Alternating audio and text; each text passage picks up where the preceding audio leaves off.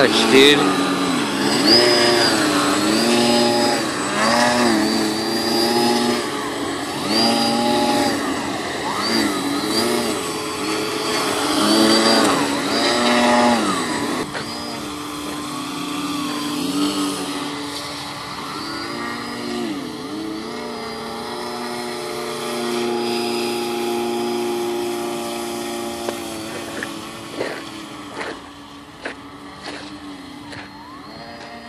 Type pyramid, then we drive the car.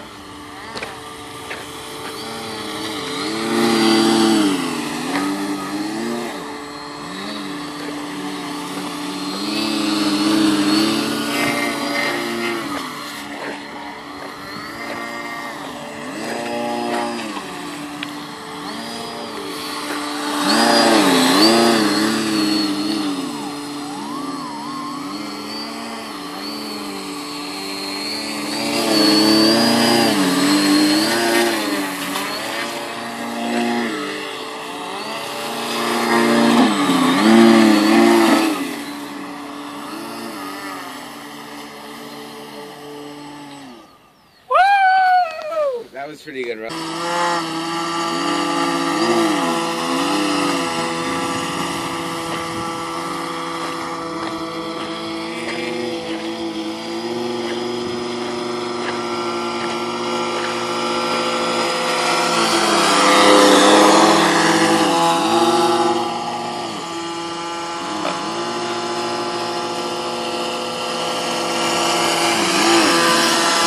run into the ground. Dude, we need shorter grass, like really trimmed, dry grass.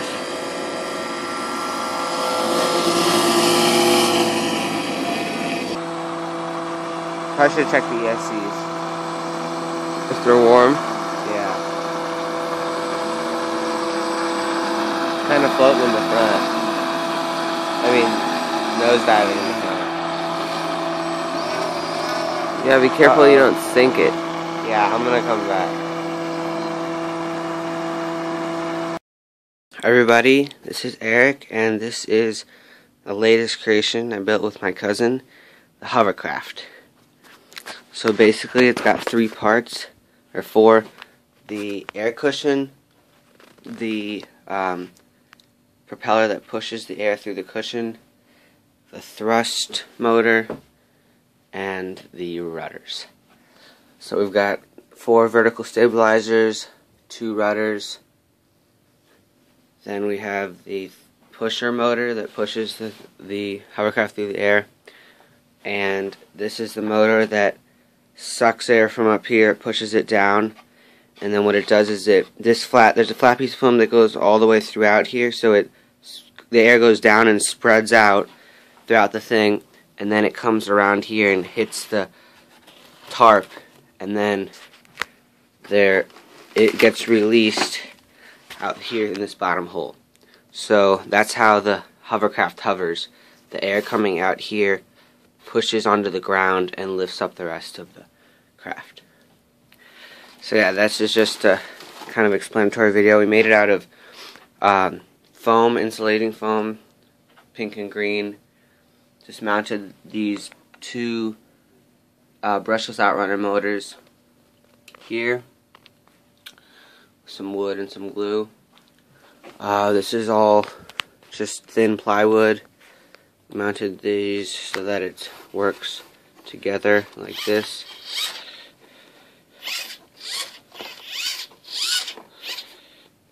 And then we've got two ESCs, one receiver, two motors, and one servo right there. So yeah, it was mostly put together with tape, foam, a lot of hot glue, a couple of toothpicks, and then this is just a tarp. Looks like this.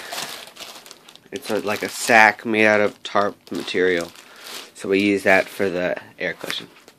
So yeah, this is our homemade hovercraft. Built it in four days and didn't cost us too much. Bye.